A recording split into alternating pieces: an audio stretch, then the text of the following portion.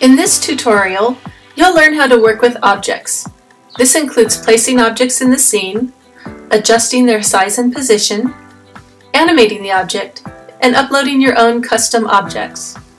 So let's get started. Here we have an industrial scene with an inspector inspecting something. So let's give her something to inspect. You'll start by clicking on the Objects tab and scrolling through the list of objects until you find what you're looking for. You can also search for an object. In this case, I know I want the fragile box, so I entered fragile, and there it is in the list. Now before I place it into the scene, I'm going to look at where my playhead is in the scene. And right now it's at 7 seconds. I would like the box to appear at about 1 second in. So I'm placing the playhead at the 1 second mark, and now I'm going to drag the box into the scene. And it appears right there as expected. We would like it to last the duration of the scene, so I'm going to drag the bar representing the object all the way to the end of the scene. When you click on the object, you get a menu along the top. It's got your settings, your flip tool, bring forward, bring backwards, and delete.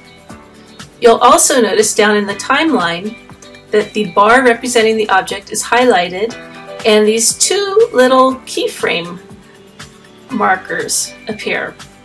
And this is really handy because this is how you're going to animate your object. So let's say we want the box to appear here and then travel along the conveyor belt to the end. So what you're going to do is you click on your first keyframe and that's your starting point for the object. Move it over just slightly. And then if you click on the ending keyframe, it brings the playhead to the very end of the object scene. And what you're going to do is you can either grow or shrink the object depending on what you're depending on the effect you want. Or you can move it. So now if we view the scene, we should see the box move from here to here. There it is.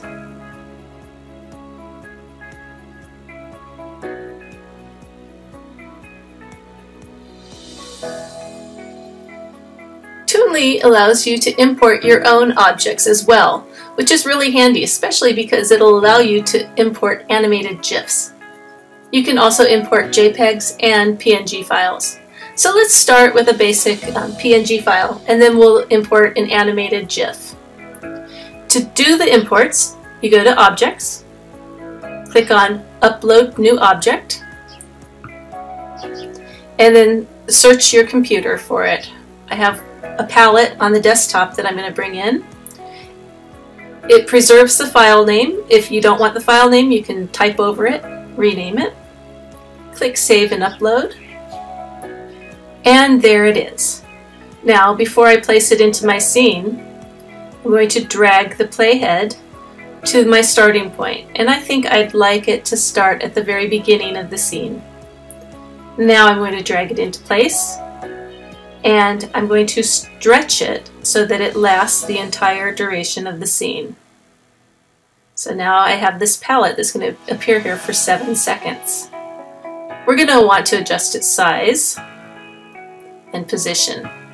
So since it's so large, I'm going to drag it down until I can see my upper right corner and adjust it accordingly. So I think that's fine right there. And let's see how the seam looks.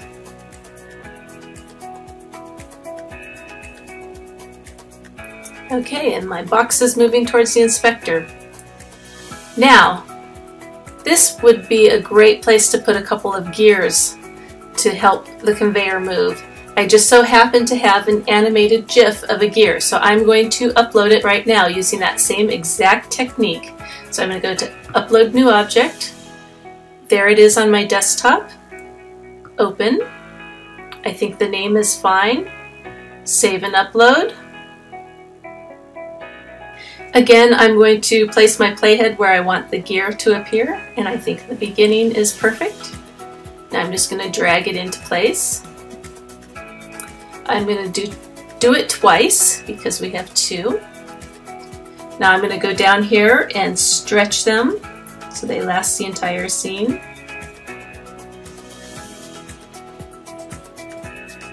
And then we're going to go ahead and play the scene so that we can see the size and make our adjustments.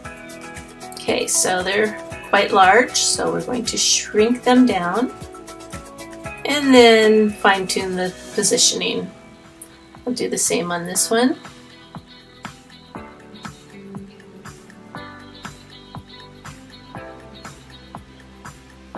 Okay, that looks good. Let's play it from the beginning and see how our scene looks. There we go, and our gears are automatically animated all by themselves because we used a GIF.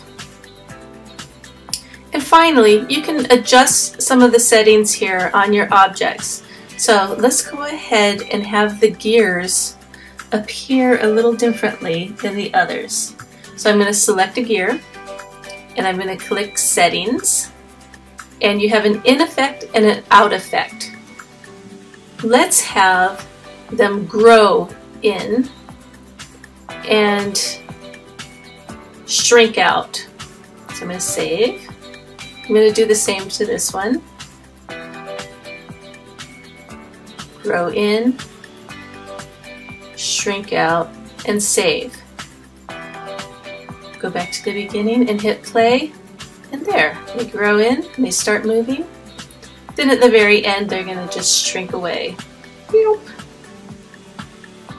That's it for working with objects. Thank you for watching.